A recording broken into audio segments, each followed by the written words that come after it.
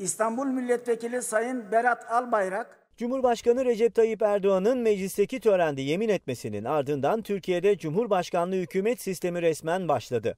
Dün gece açıklanan yeni bakanlar kurulunda yer alan bakanlar ve Cumhurbaşkanı yardımcısı mecliste yemin etti. Toplantıda ilk olarak önceki birleşimde yer almayan AK Parti İstanbul Milletvekili Numan Kurtulmuş ve AK Parti Kahramanmaraş Milletvekili Mahir Ünal and içti.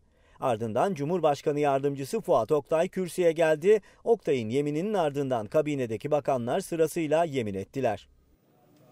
devletin varlığı ve bağımsızlığını, vatanın ve milletin bölünmez bütünlüğünü, milletin kayıtsız ve şahsız egemenliğini koruyacağıma, hukukun üstünlüğüne, demokratik ve layık cumhuriyete ve Atatürk ilke ve inkılaplarına bağlı kalacağıma, toplumun huzur ve refahı, milli dayanışma ve adalet anlayışı içinde herkesin insan haklarından ve temel hürriyetlerden yararlanması ülküsünden ve anayasaya sadakatten ayrılmayacağıma büyük Türk milleti önünde namusum ve şerefim üzerine and içerim.